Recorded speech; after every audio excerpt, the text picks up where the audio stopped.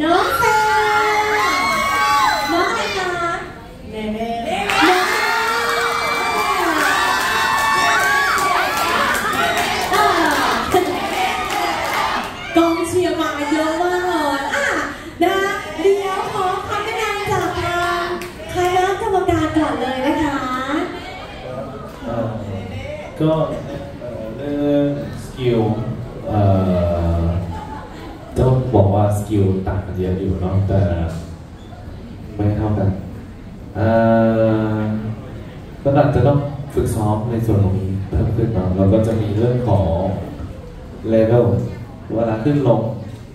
แล้วก็ prop ใช่ไหมหมวกคือตก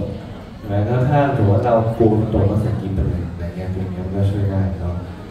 แต่ว่าก็จะมีชอบไปตรงส่วนที่ทำชูแบบใช่ไหมที่โดนลงตรงนี้ ที่ทำดอกดอกดอกดอกก็เป็นเฟกที่เราลงมาต่อครับเอ่อชื่นชมกันในเสร็จเลย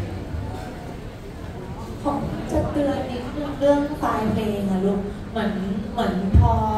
พอไฟล์เพลงเราไม่ชัดอะรู้สึกว่ามันอาจจะมีผลต่อแบบเพอร์ฟอร์แมนซ์ของหนูๆด้วย มันจะทำให้แบบบางทีกรรมการหรือว่าแม้แต่คนดูถ้าอยู่ข้างหลังอาจจะไม่ได้แบบบีเพราะว่าเหมือนเพลงไม่ชัด เนาะถ้าถ้าสมมติเรา mix เลงนะแบบชัดตรงนี้ก็จะช่วยแบบช่วยเรื่อง performance ได้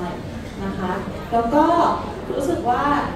คล้ายๆนะคือเบสิกยังไม่เท่ากัน เหมือนแบบบางคนก็จะมีเบสิกแบบมากกว่าเนาะแล้วก็แล้วก็ผู้ชายผู้หญิงกล้ามเนื้อก็ไม่เหมือนกัน เพราะฉะนั้นผู้หญิงจะมีความมีความแบบเอ่อไม่แข็งแรงเท่าผู้ชาย เราอาจจะต้อง push หรือว่าผู้ชายเองอาจจะ เห็นแล้วว่าเลเวลของทีมเราเป็นแบบนี้อาจจะต้องลดให้มีความแบบเท่ากันจะได้ synchronize กันมากขึ้นในประมาณนี้ แล้วก็ชุดโอเคแบบเท่ากันดูเป็น street มีความแบบผสมชุดยีนส์เนาะ mix match ได้ดีค่ะ แล้วก็เอ่อ performance ด้วยความที่ดูออกก็อาจจะเครียดกันนิดนึงใช่เปล่าไม่รู้แบบอาจจะตื่นเต้นกดดันเลยแบบลืมยิ้มบ้างอะไรบ้างจริง ๆ แบบ หนูเวลาขึ้นเต้นอะเอาให้สนุกอะถ้าตัวเองสนุกปุ๊บอะคนดูเขาก็จะสนุกด้วย เหมือนเวลาแบบเต้นเล่นๆกับเพื่อนอย่างเงี้ยเอาแบบความรู้สึกเหล่านั้นออกมาใช้ใช้บนสเตจได้เลยเพราะเชื่อว่าทุกคนมีข้างในอยู่แล้วเนาะแต่โดยรวมโอเคค่ะดีขอบคุณค่ะ